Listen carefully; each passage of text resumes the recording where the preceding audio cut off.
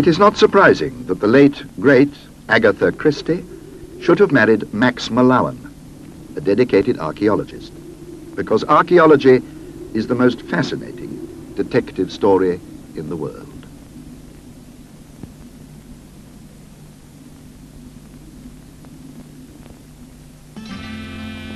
The story we are going to tell you could easily have been called Murder at Knossos.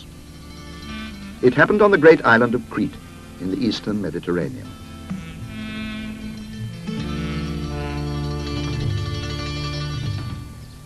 During the last three or four thousand years, Greeks and Romans, Venetians and Turks have come and gone. And the islanders have lived out their lives while under their feet, buried deep in the ground, one of the greatest secrets in the world was waiting to be discovered.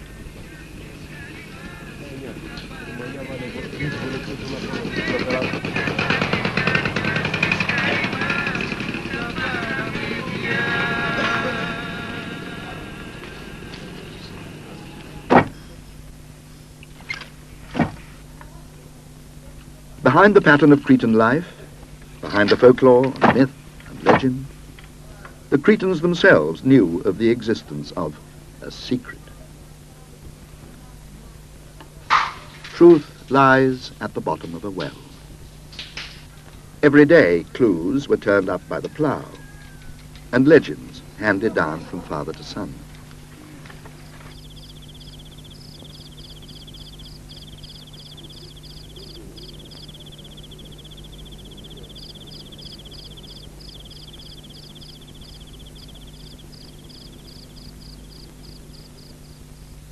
This seal, cut out of semi-precious stone, is the clue which led Arthur Evans, the Hercule Poirot of Crete, to the solution of the great Minoan mystery.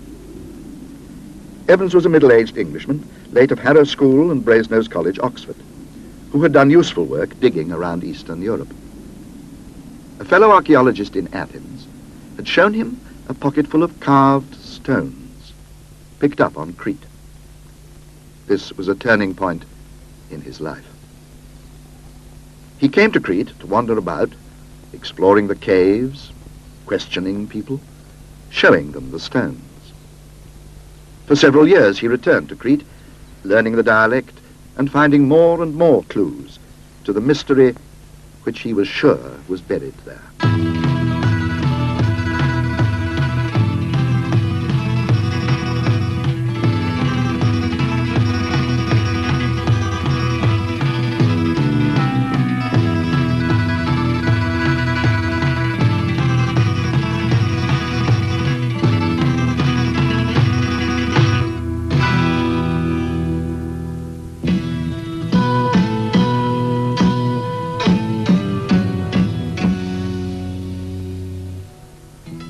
Evans was evidently a born detective, for we now come to what Sherlock Holmes fans will at once recognize to be the secret of the dancing letters. These were clay tablets inscribed with different kinds of writing, now known as Linear A and Linear B, which nobody could decipher at the time. Evans smelt a connection between the carving of the seal stones and the dancing letters. And how right he was.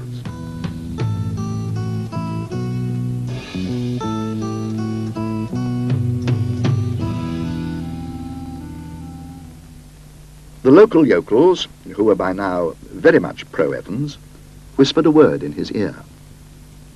Go to the place where King Minos used to live. And when he said, where? They whispered, Knossos.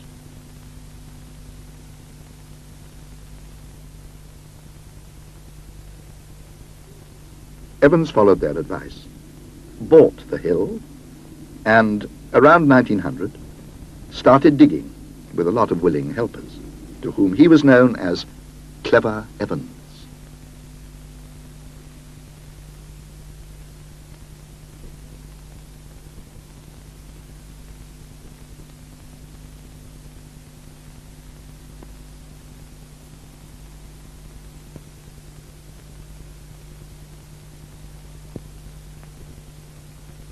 The palace of King Minos was there, all right. In fact, there were three palaces, one on top of the other. Evans saw life's work before him, which would require enormous resources of money and men.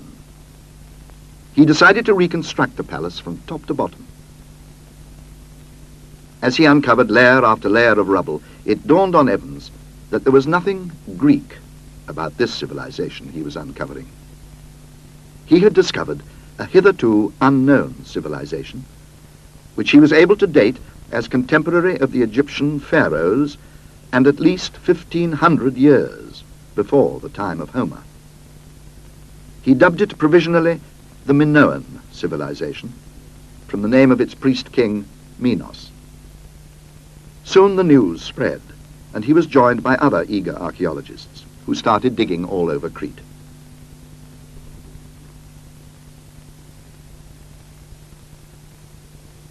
The legend of the Minotaur, the monster who was half bull and half man, always associated with Crete and King Minos, seemed to receive confirmation from the bull images which were continuously dug up, and from the labyrinthine passages of Knossos.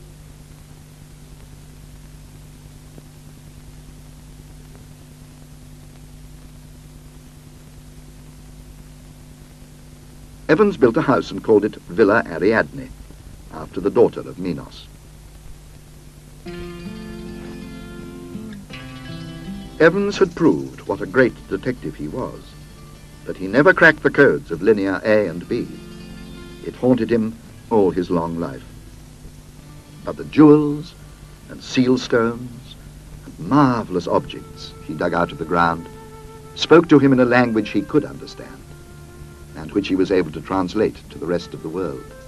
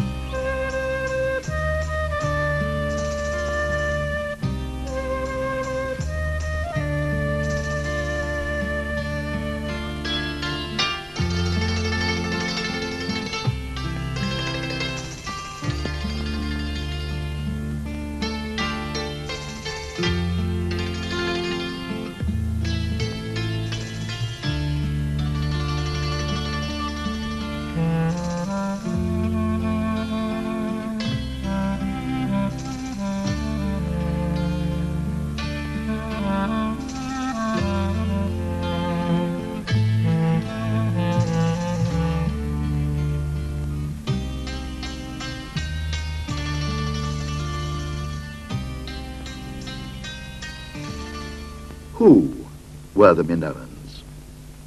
Where did they come from? All that part of history before the great Greek civilization had been dismissed until then as the Bronze Age.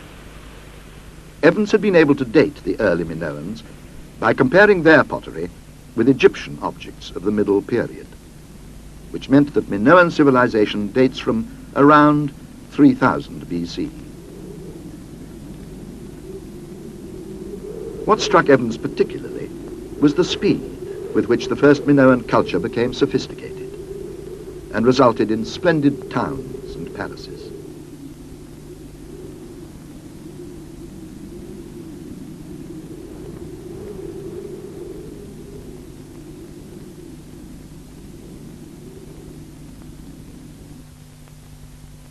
What are these? A game? A toy town? All that Evans could say with certainty was that they seemed like models of Minoan houses and made part of the picture he was composing.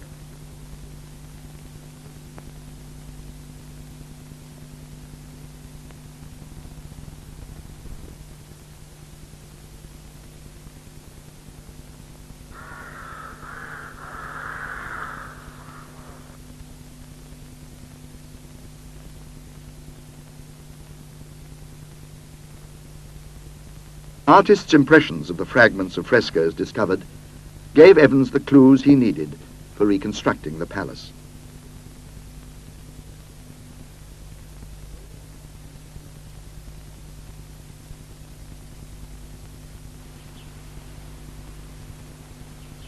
A mason's mark.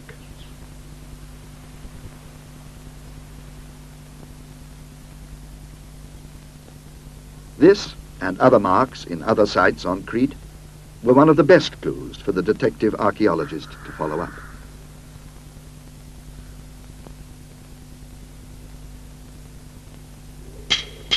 Gradually, other magnificent palaces were discovered. Festos, on its hill in the south of the island, looks over the great plain of Messara.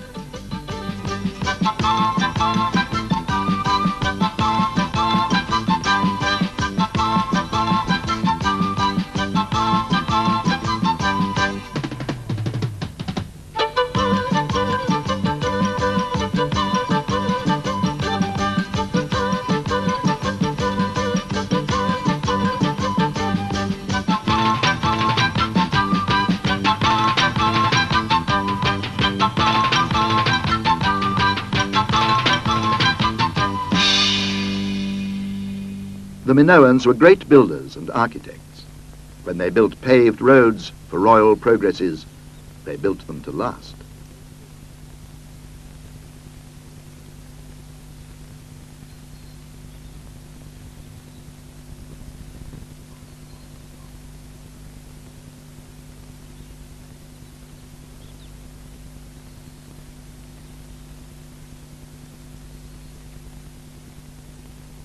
This mysterious snake-like channel is chiseled out of the rock of the great stairway.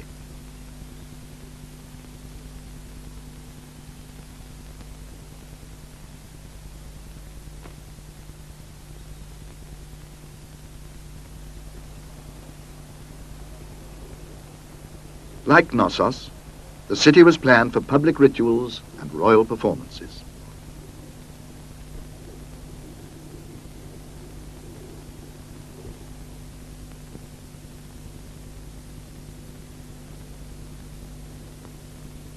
All the palaces had vast storage cellars where wheat and olives, honey, wine, and olive oil were kept in huge jars, taller than a man. The cellars were lit by light shafts in daytime, by oil lamps and torches at night.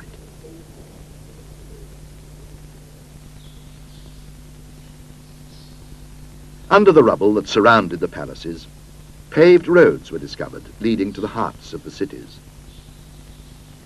Along these roads, visitors came to attend theatrical performances and religious ceremonies. Always and everywhere, the symbol of the horns of the bull.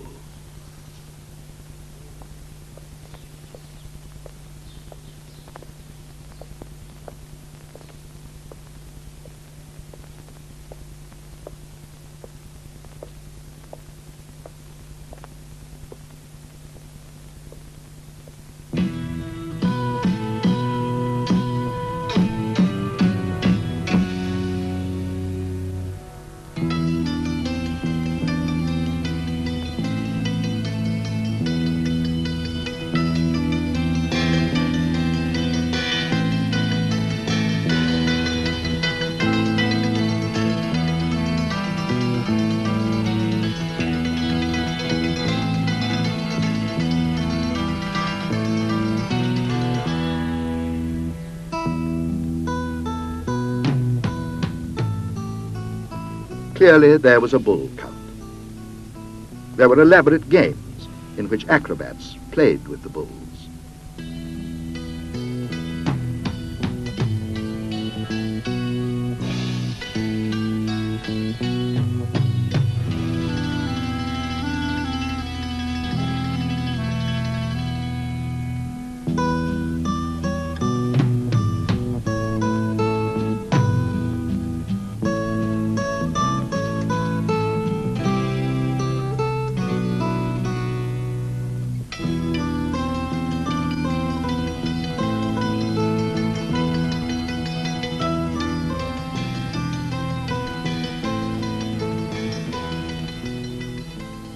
Bull jumpers of Provence and the bullfighters of Spain are probably the last remnants of early elaborate Minoan rituals.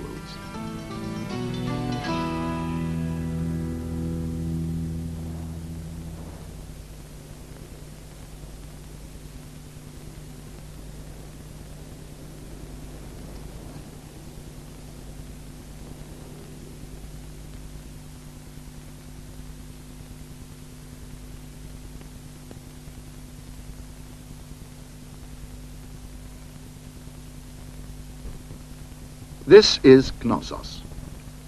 Arthur Evans saw it, but only in his mind's eye. When he died, after 40 years' work on the site, he left his property in trust to the British School of Archaeology in Athens, whose students and professors still carry on his work. A town that must have sheltered 100,000 people surrounds the hill crowned by the palace of Minos. Excavation still goes on.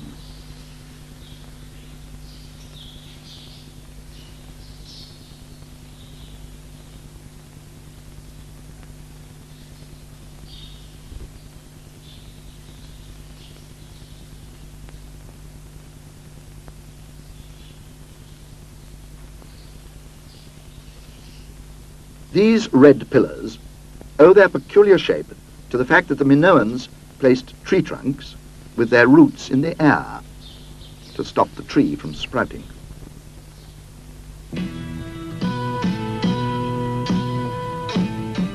There are parts of the palace which are four and five stories high.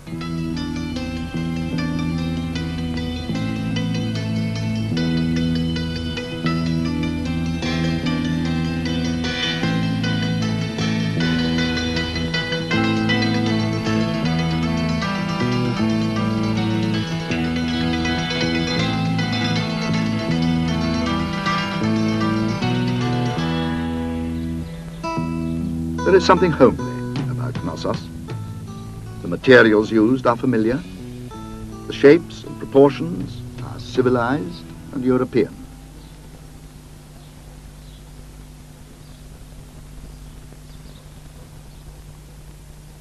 Minoan palaces had two characteristics. Their public places were grand and formal, their private rooms intimate, making a perfect whole. Rooms were plastered and painted. Corridors were lined with marble and alabaster.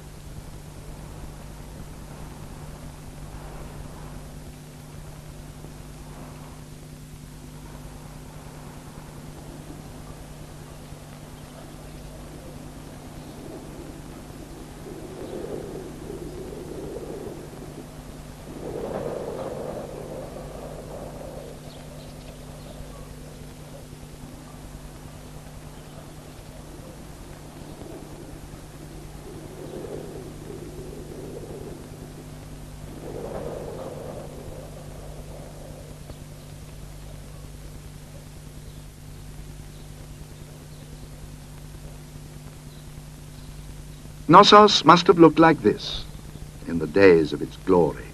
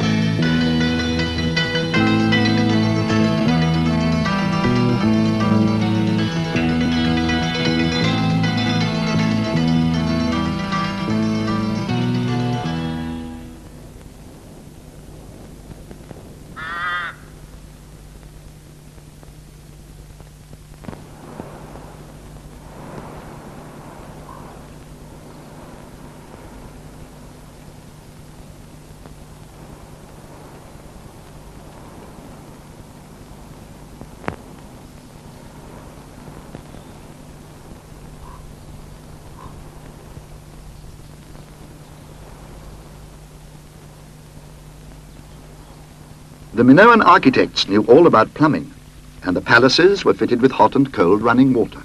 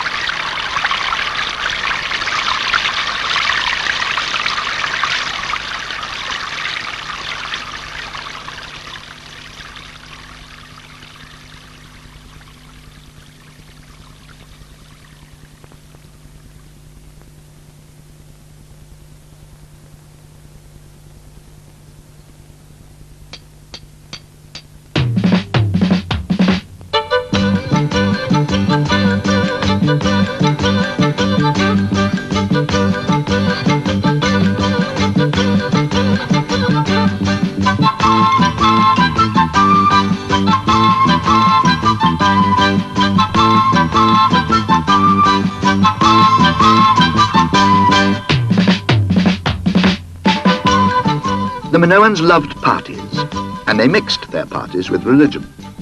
Minos was both king and priest.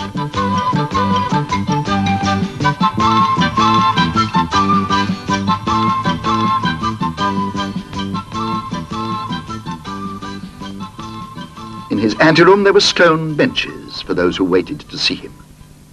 The windows looked out on the surrounding hills.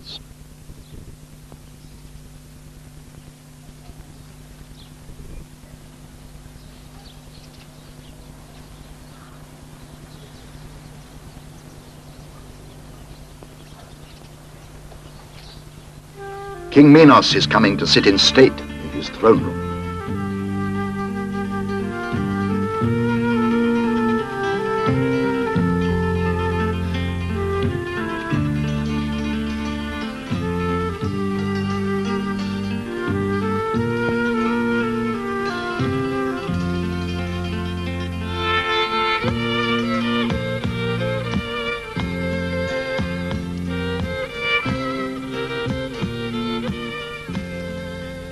The Labrys, the double axe of Minos, the symbol of the labyrinthine palace of Knossos.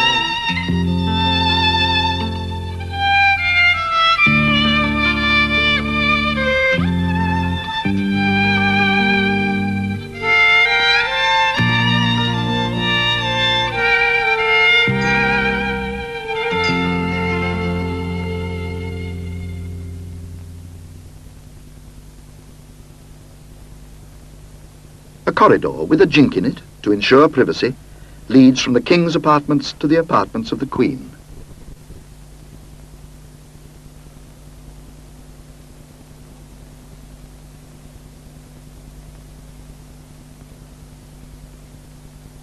The queen's toilet room has running water and a water closet.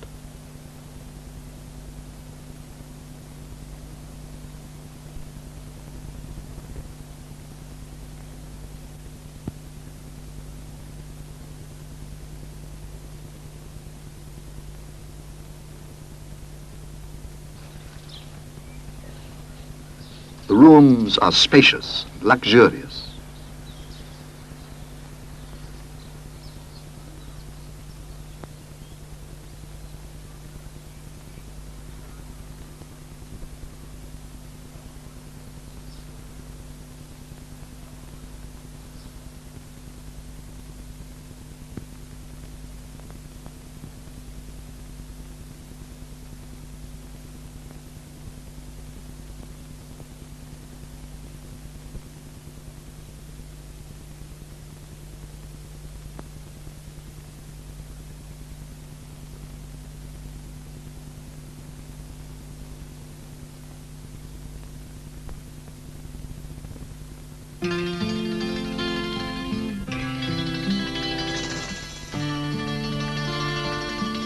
The Minoan ladies of the court would have appeared sophisticated and elegant at any period of history.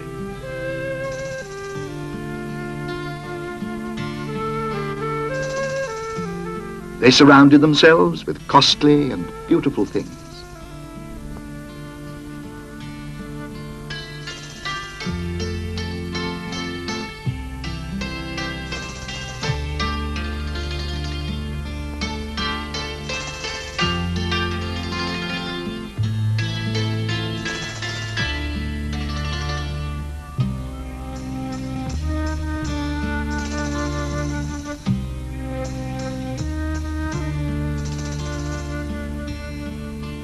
They knew all about makeup, hairdos and jewelry.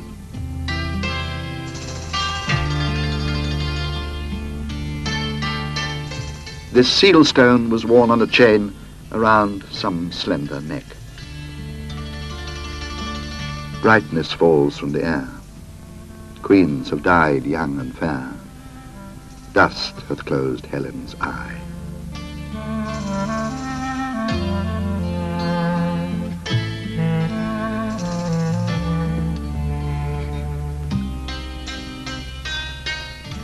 The jeweller's art was highly developed. The goldsmiths in particular were very skilled and had developed techniques which have only been rediscovered during the present century. The work is very fine. All these details are greatly enlarged.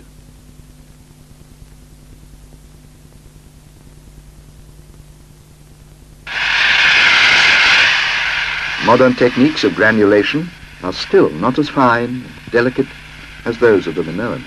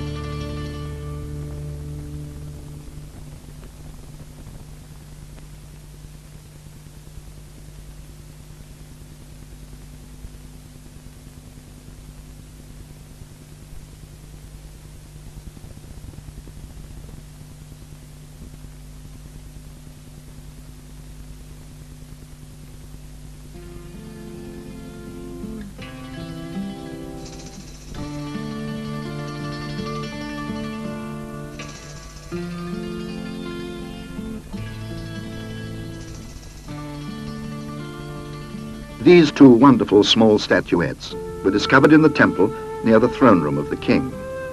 They are priestesses, or goddesses. The snakes are a symbol of fertility.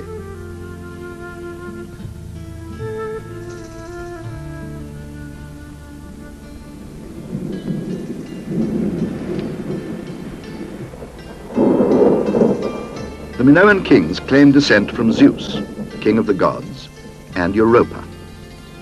In the guise of a bull, he ravished her from her home and took her across the sea to Crete.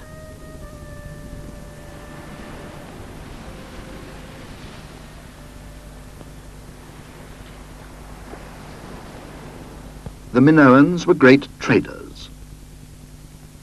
Ships and the sea occur again and again in the seal stones and in the frescoes. In all the images that have been discovered, there is not one image of war.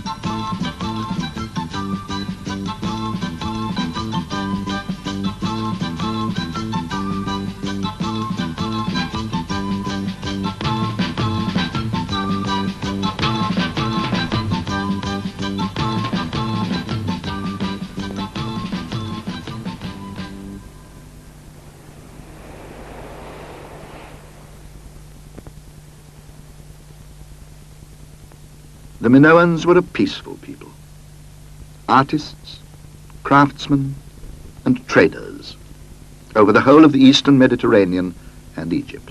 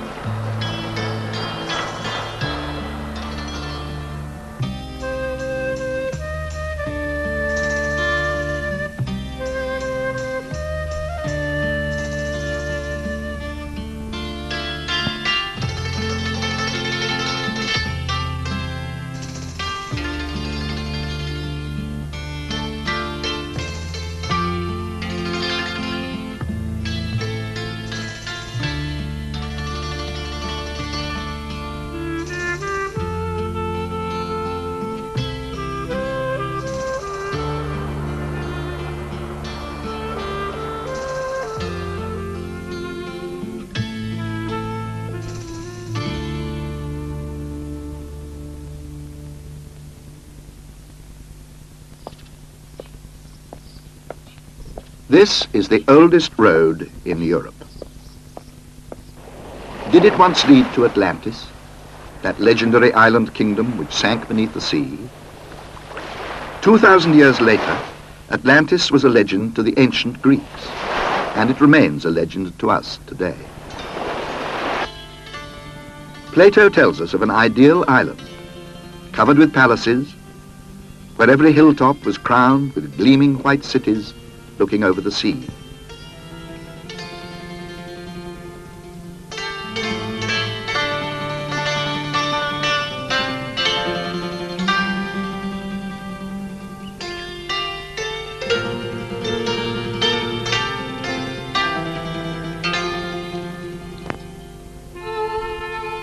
Its women were beautiful.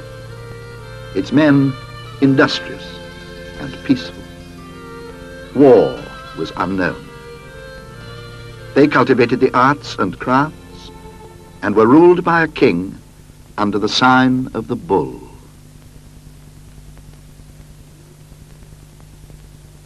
They handled the bull without fear and without weapons.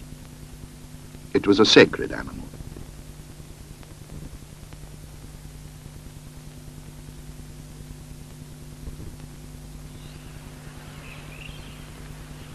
The island had crystal fountains and fresh springs of water.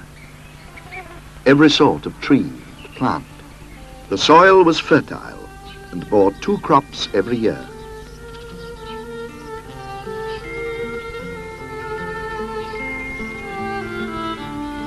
The ground and even the rocks were covered with aromatic herbs which perfumed the air as you crushed them with your feet.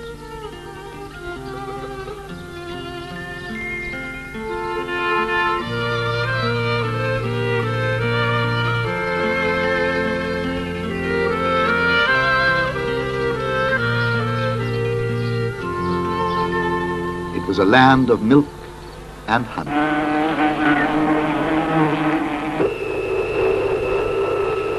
Its people spoke a language that is forgotten except for inscriptions, which remain on ruined temples and broken tablets, and in the patterns of everyday things.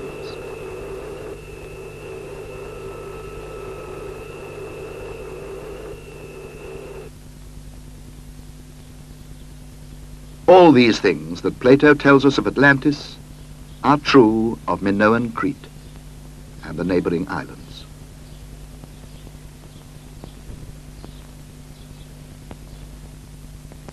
The island of Santorini lies 60 miles to the north of Crete. It has a Minoan town at its south end called Akrotiri.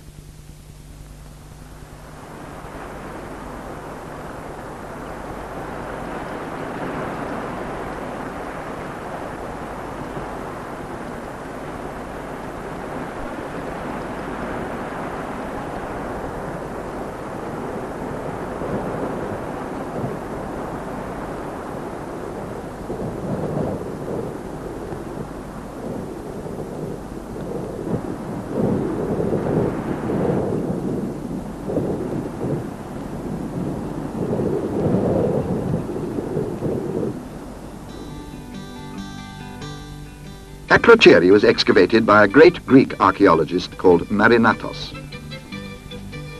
As he dug down through the ashes and pumice, he recognized many of the features he had seen in Minoan Crete.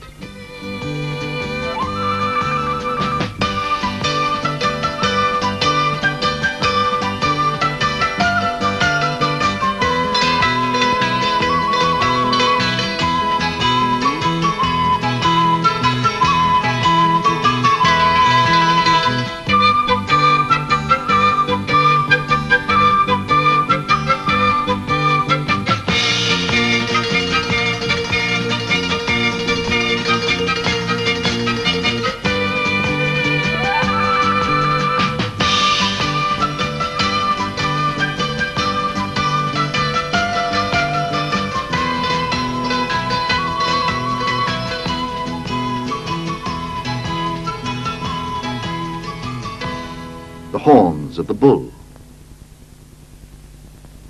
the double axe, the labrys,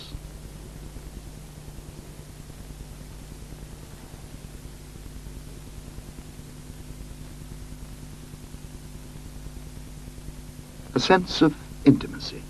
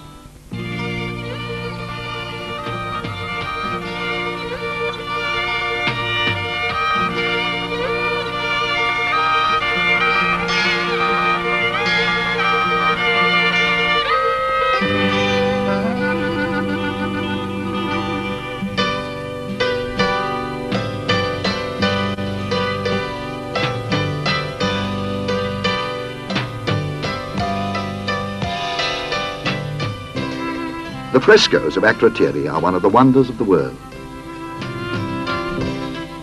They have been preserved under 30 feet of volcanic dust and are as fresh as when they were painted, like Pompeii, and for the same reason.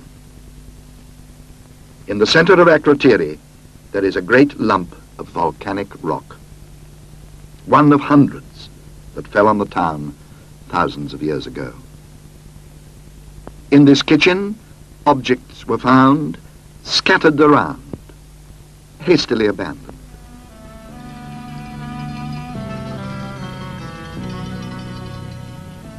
Earthquakes had cracked even the great staircases.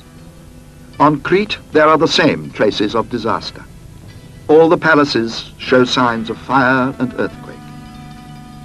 In the legend of Atlantis, a volcanic eruption, followed by earthquakes and tidal waves, destroyed the island. The same thing happened to the Minoan civilization, and the cause of it was a volcanic eruption on the island of Santorini.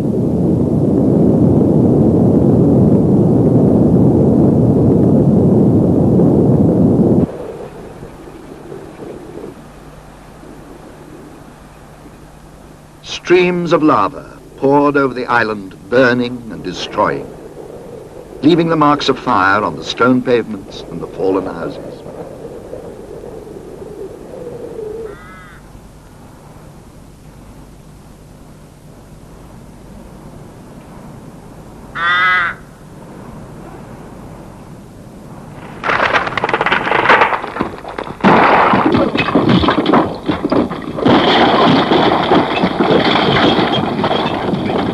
The eruption lasted for days and probably for weeks, spreading ruin and devastation.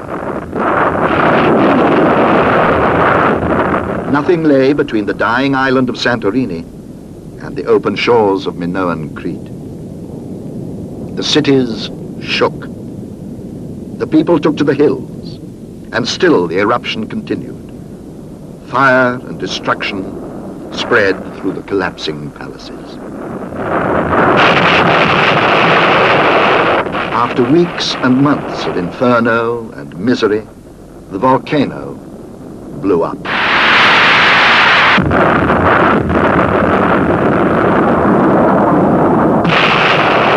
The island collapsed on itself, and a seething cauldron of water erupted in a gigantic tidal wave.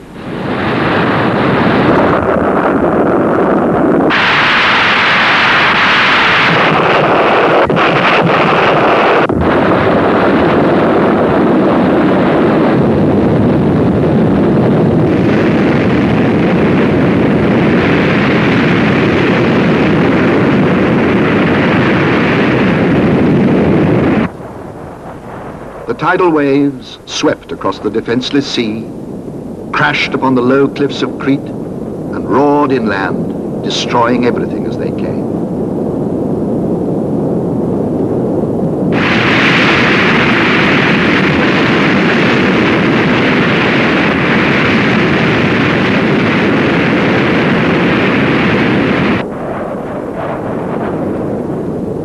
That was the end of Minoan Santorini and the end of Minoan Crete.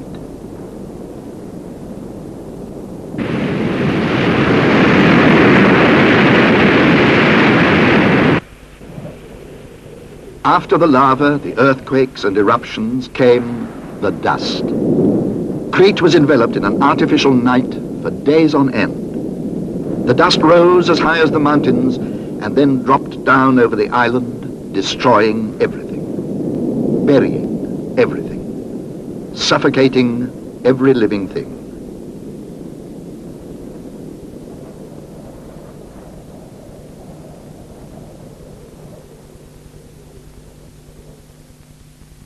Santorini, the beautiful, the round island, was gone.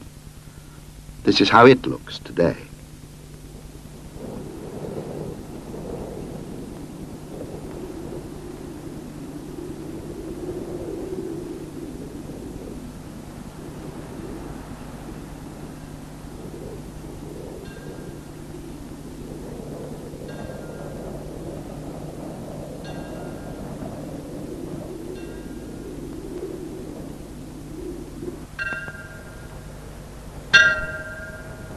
The modern town of Fira on Santorini clings to the top and sides of a cliff with a zigzag packhorse road two kilometers long leading down to the jetty.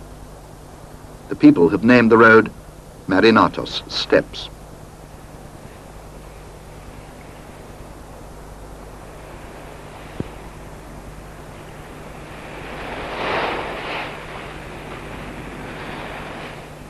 Volcanic tremors still shake the island. In 1956, an earth tremor lasting less than a minute brought all the houses tumbling down.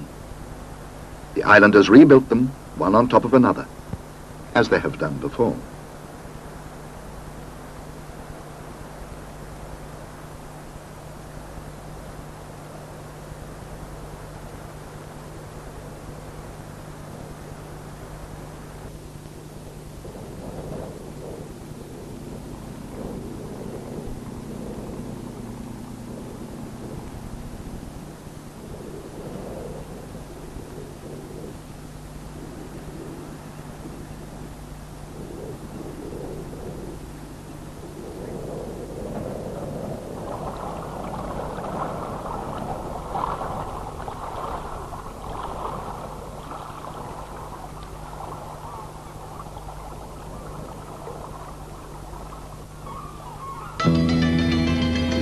Volcano is always simmering and smouldering.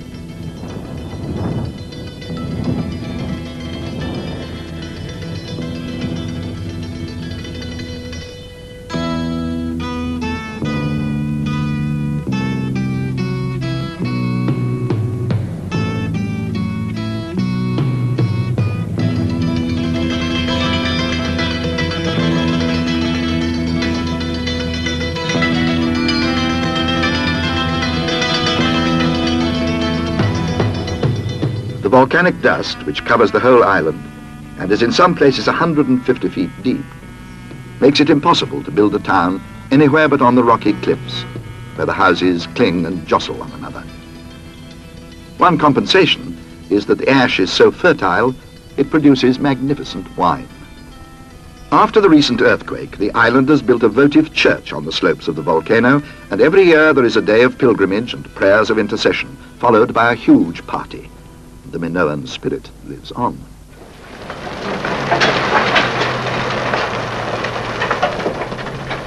The volcanic ash, or tephra, which once extinguished all life on the island, is now the main source of its prosperity. Thousands of tons of this valuable stuff are exported every year for use in ceramics and in special kinds of building materials.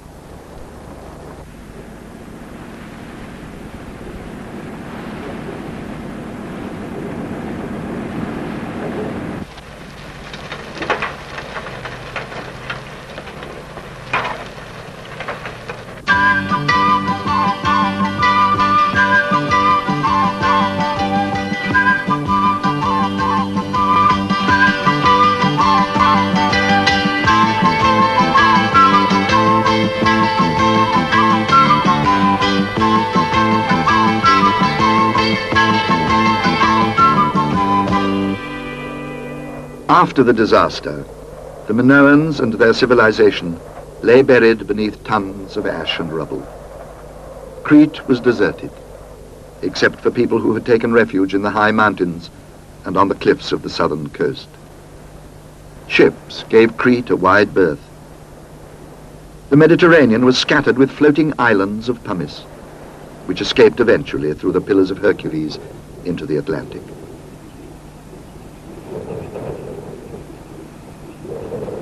Slowly, the island was recolonized by warlike adventurers.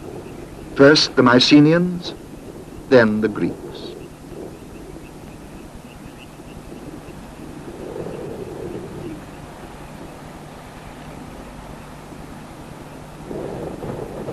The total destruction of the Minoan civilization had so impressed the people of Egypt and the eastern Mediterranean that the legend grew that Crete had disappeared into the sea, like Atlantis.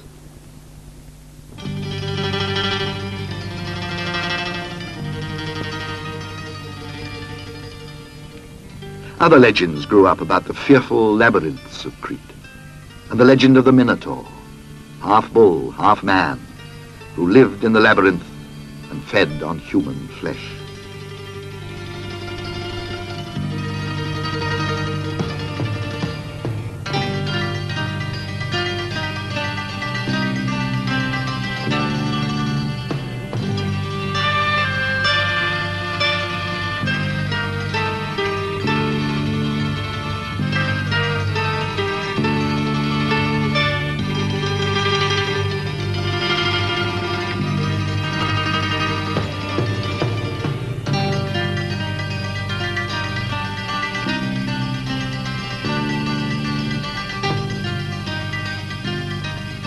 It was through this stony maze that the hero Theseus found his way by following the clue of thread given him by Princess Ariadne, who sailed away with him across the sea.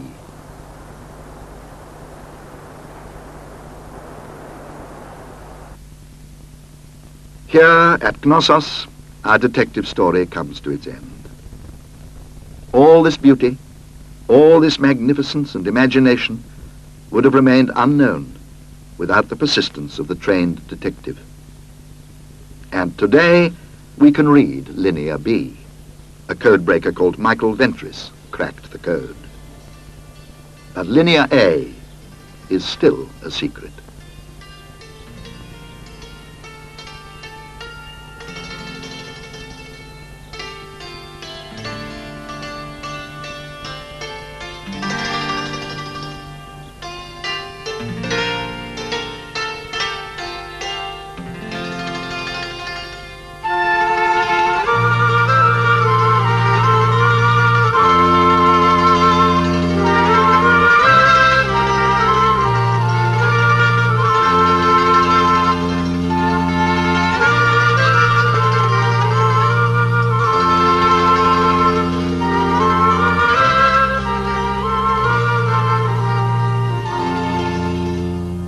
Myth, legend, fact join hands in the rediscovery of Minoan civilization.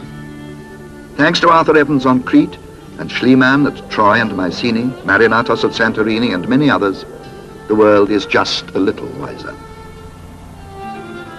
We have a lot to learn, but we shall never know it all.